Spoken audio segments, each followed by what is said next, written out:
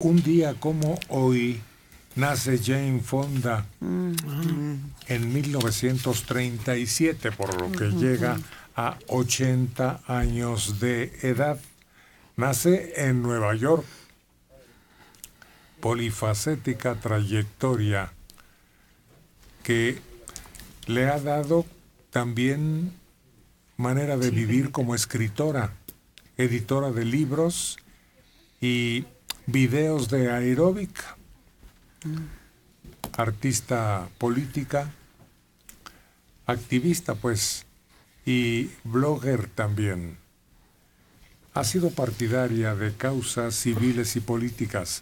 Se ha manifestado contra la guerra de Vietnam, así como la guerra de Irak, y se ha descrito a sí mismo como una persona liberal en el sentido estadounidense del término diferente del europeo y feminista. Publica su autobiografía, la cual se convierte en un éxito de ventas y crítica. Es una de las femeninas más laureadas de todos los tiempos. Está considerada ya como una leyenda viva de Hollywood. Es hija de Henry Fonda y está considerada como una de las actuaciones mejores de la historia de Hollywood. Fonda desempeñó el papel principal de una película de ciencia ficción, Barbarella, de Roger Vadim, la cual la convierte en un símbolo sexual a nivel internacional. También protagonizó Malditos o El baile interminable. Su interpretación recibe una gran acogida por parte de la crítica de cine y vale su primera nominación al premio Oscar por mejor actriz.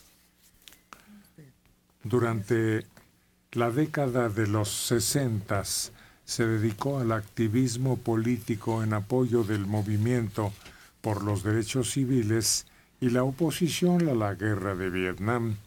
Apoyó la ocupación de la isla Alcatraz, lo que fue visto como un intento de llamar la atención sobre temas de nativos americanos, debido a su feroz oposición a la guerra de Vietnam.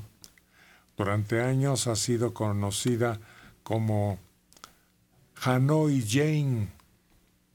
Jane Fonda ha estado casada tres veces. Primero con el director francés Roger Vadim, desde 65 hasta 73, con el que tuvo una hija llamada Vanessa.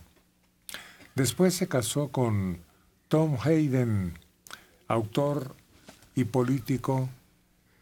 El segundo matrimonio duró desde 73 hasta 90 y tuvieron un hijo llamado Troy, nacido en 73, y también es actor.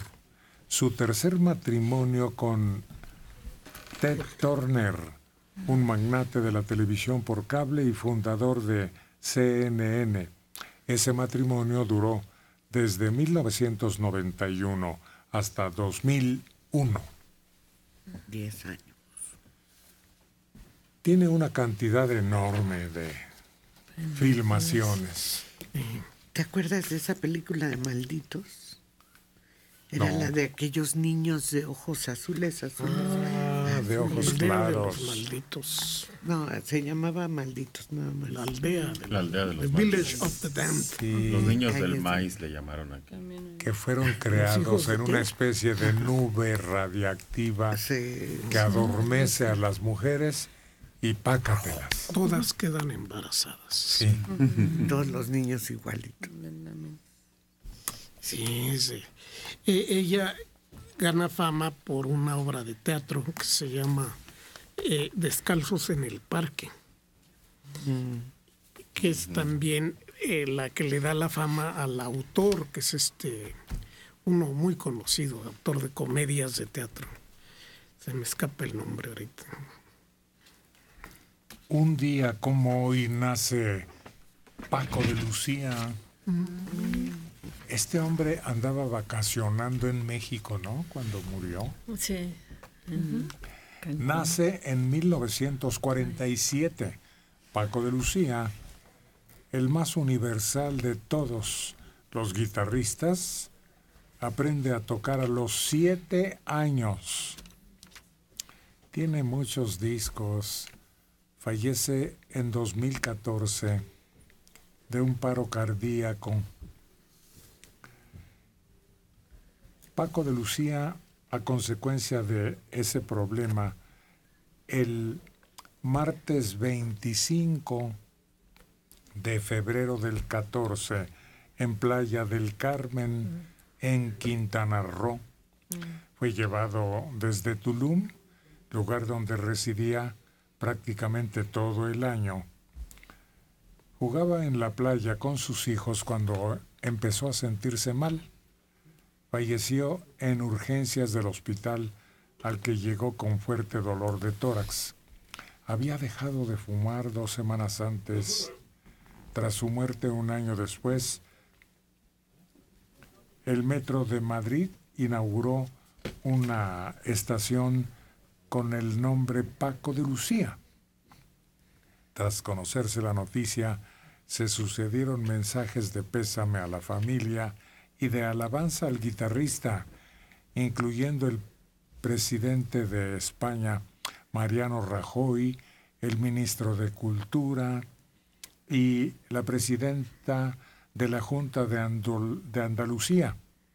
Se le rindió homenaje en el Festival Internacional de la Canción de Viña del Mar en 2014.